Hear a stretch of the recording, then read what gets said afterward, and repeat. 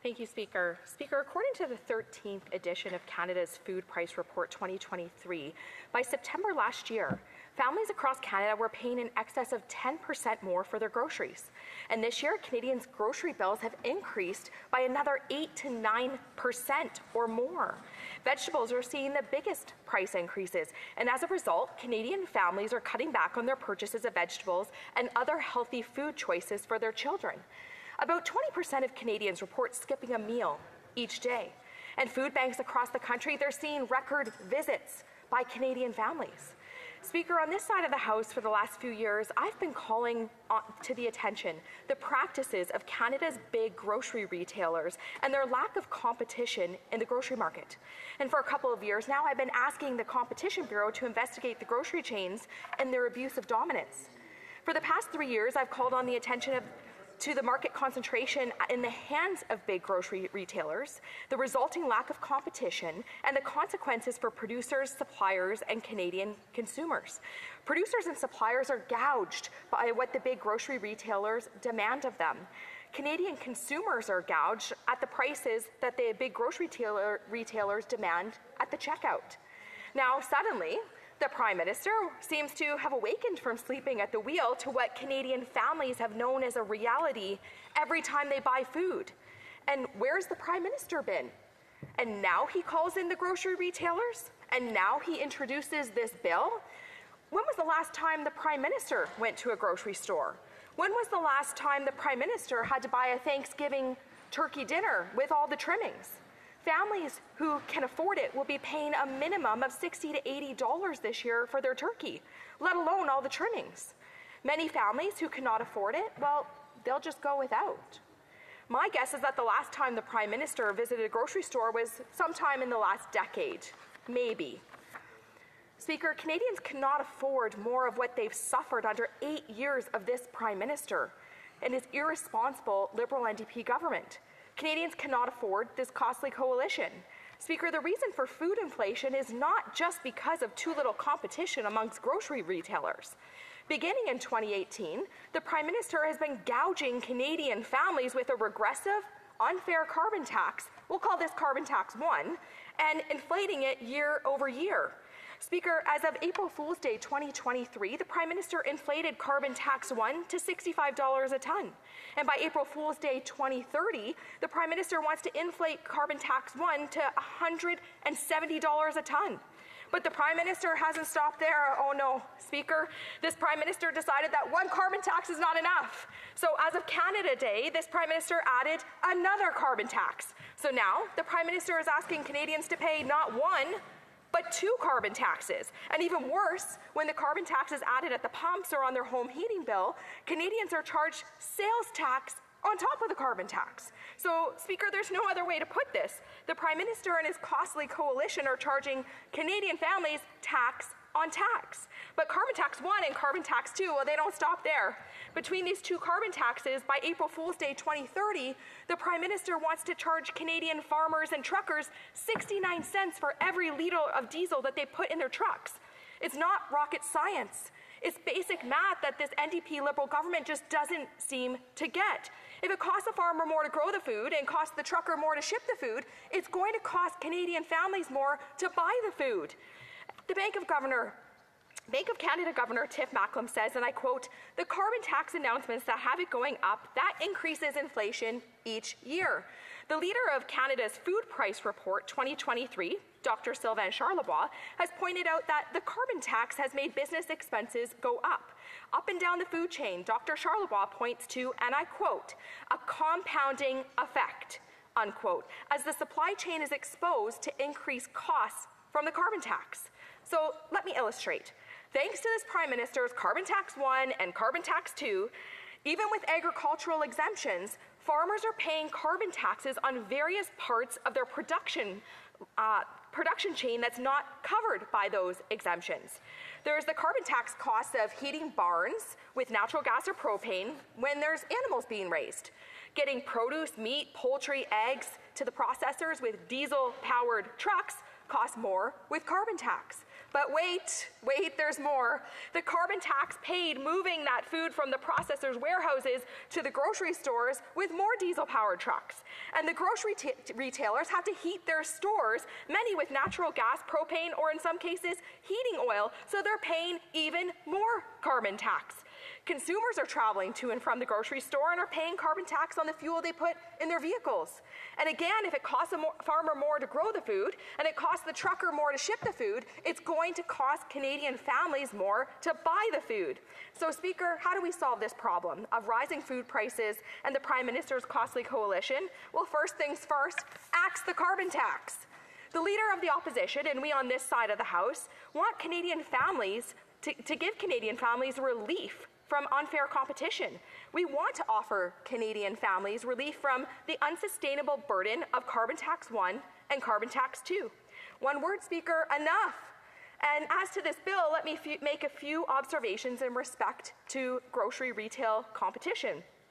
Sadly, this bill seems to be a lot of fluff and not much substance.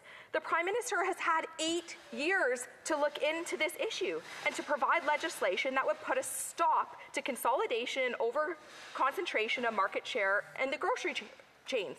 Speaker, this level of coordination of grocery stores into bigger and bigger grocery retail chains is reducing competition for consumer dollars. With less competition in the grocery retail, Canadian consumers will always pay more. So let me give you one example.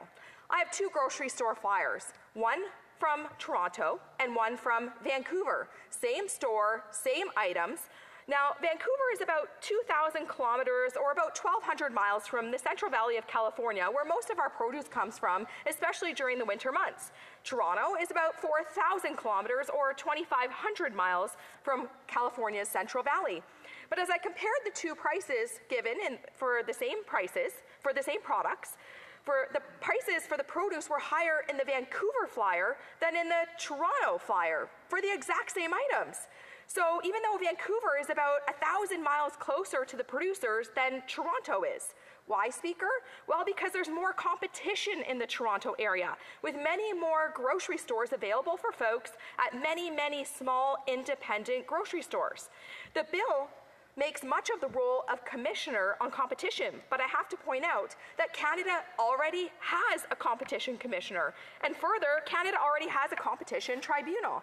But Canadians still face high food prices because Canada's competition watchdogs, they just have no teeth. And it's not enough to have an official whose title is competition commissioner. If a competition commissioner is to uphold competitive pricing in the interests of Canadian consumers, this office has to have real teeth. The competition commissioner should have real power to call into question the excessive concentration of market control. So, to sum up, Canadian families are seeing unaffordable prices, increases in their foods that they buy to feed their families year over year. And almost daily, my constituency office is hearing from Canadians, young and old, who are having difficulty getting by. And many don't have enough money to buy groceries after rent and mortgage payments are made. More and more people are visiting food banks. And too many are breaking down in tears in my office because of their inability to pay for the basic necessities of life. Dozens and hundreds of my constituents are having trouble making ends meet because of runaway inflation that this government has caused. Canadian consumers, they face inflation on food at 8 to 9% year over year. Again, 20% of Canadians report skipping a meal a day just to save money on groceries. Meanwhile, the government taxes to the max with carbon tax 1 and now carbon tax 2, plus the HST piled on top tax on tax. Speaker, enough is enough. Canadians deserve better than a prime minister and a government that just seems to go through the motions. The prime minister can deny it all he wants, but Canadians know that inflation is real. The bill doesn't go far enough to address the lack of competition amongst grocery retailers, and sadly, this prime minister, who's propped up by NDP supporters as well as liberals who sit in this House, have not seen a regulation that they wouldn't support nor a carbon tax that they wouldn't impose to burden and weigh down Canadian families who are just trying to make ends meet with their hard earned dollars and stretching their hard earned dollars. At the fuel pumps, they're paying They're, they're paying at the fuel pumps, they're paying in their heating bills, and having enough money left over to get through their grocery checkout line is sometimes a burden. It's time for a real change from the inflationary, all too costly coalition of the NDP Liberal government. Thank you, Madam Speaker. Questions and comments. The Honourable Member for Hamilton East, Stony Creek. Thanks, Madam Speaker. And I listened with interest to the member opposite speech. Um, inflation is real. I don't think anyone's denying that. But we have, uh, we've provided assistance. You mentioned uh, rising rents. We provided assistance through the National Housing Strategy. And program after program that's been presented to this House has been opposed by the opposition. We provided assistance through the Rapid Housing Initiative, the Innovation Fund, the National Co-Investment Fund, providing more support for co-ops that a lot of members in this House have talked about and the need to drive investments through municipalities and nonprofits. Um, so every time this government has tried to assist Canadians, uh, those in need, some of our most vulnerable populations, the member opposite and her leader um, have chosen to vote against it. My question is why? Honourable Member for uh, Lambton Kent Middlesex. Thank you, Madam Speaker. I thank my colleague across the way for the question. Well, the fact of the matter is, a one time payment is not going to do anything to help people long term. My constituent here writes, Lianne, renters need apartments that working people can afford. I make $27 per hour and I have no benefits, and my rent for a 400 square foot one bedroom unit is currently $1,400 a year, plus electricity, and I have to pay for laundry. Rent needs to come down or I will have no retirement savings less, left. And that's Paula from Wallaceburg. And Jolene from Dover Center writes me, an average hardworking Canadian like my husband and I, we Have to, give time for other questions, questions et commentaires. Uh, L'honorable, the Honourable Member for Courtenay Alberni. Thank you, Madam Speaker. Madam Speaker, I can do a little fact check here. The member talked about uh, the governor of the Bank of Canada, Tiff Macklem. Tiff Macklem said that the carbon tax, all of it combined, is contributing 0.15% to inflation. Madam Speaker, that's 15 cents on $100 worth of groceries. But what she didn't talk about is corporate greed, which is costing $3.90 on $100 worth of groceries. We know why, because conservatives are gatekeepers for the big grocery stores, for the Galen Westons, Madam Speaker. Also, they don't want to talk about the fact that 8 out of 10 Canadian families get a rebate. They don't want to talk about that, Madam Speaker. Why? Because they know that the, the, truth is they're really fighting for two out of 10 Canadians. So, my question to my colleague will she tell the truth that the Conservatives are really fighting for the two out of 10 families that aren't getting a carbon tax rebate back and that they're actually just trying to deter from reality? Thank you. The Honourable Member for Lambton Kent Middlesex. Thank you for, to my colleague for his question, but I take, I take offense to that because I am telling the truth. What you're referring to is actually only on food. Madam Speaker, what the member is referring to is on food. And you ask the farmers how their bills have gone up with the carbon tax. Ask me how much my inputs have gone up. Ask me how much packaging has gone up for, for my, my products. Ask people, retailers, why packaging has gone up because the carbon tax is paid on fuel that delivers every single thing along the supply chain. And when the fuel prices go up, everything along the supply chain goes up. So unless we axe the tax, you're not going to see reprieve. We need to axe the carbon tax and give families back more money in their pockets, not some one-time rebate, grocery rebate that was masked as a grocery rebate when it's actually an HST rebate. Questions et commentaires, uh, questions and comments. The Questions and comments? L'honorable député de Pierre Boucher, les Patriotes Verchères. Merci, Madame la Présidente. Euh, J'écoutais le, discours de mon collègue, puis comme de, ces, les, gens qui l'ont précédé avant elle, euh, du côté des conservateurs, puis, puis comme je dirais peut-être même les, gens de l'autre côté de la Chambre, au gouvernement, puis euh, les gens de, de, leur coalition, euh, à l'effet qu'on doit jouer sur l'offre par rapport au logement, notamment. Puis euh, je pense que tout le monde est d'accord avec ça. On doit jouer sur l'offre. Je pense que le gouvernement a un gros rôle à jouer là-dessus, puis il n'en fait pas assez. Mais il y a aussi d'un, deux côtés à une situation. Quand il manque de logement, c'est parce qu'il y a des gens qui en veulent des logements.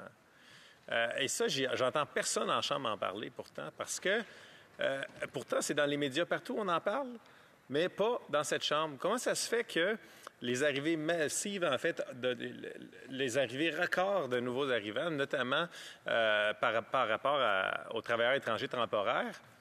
Il n'y a personne qui veut en parler dans cette Chambre, alors que pourtant, c'est quelque chose qui est en contrôle du gouvernement fédéral. The Honourable Member for Lambton, Kent Middlesex, in 25 seconds. Thank you, Madam Speaker. I thank my colleague for his question.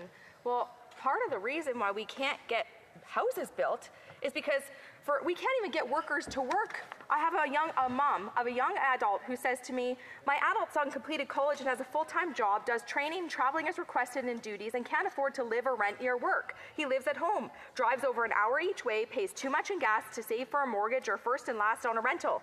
Looked into an electric vehicle and put down a deposit to purchase, but can't afford the higher insurance, not to mention the higher payments. Could not find any government rebates or incentives. His work, which he absolutely loves, is a very skilled and specialized." I, we have to resume debate. Uh, honourable member for London Fanshawe.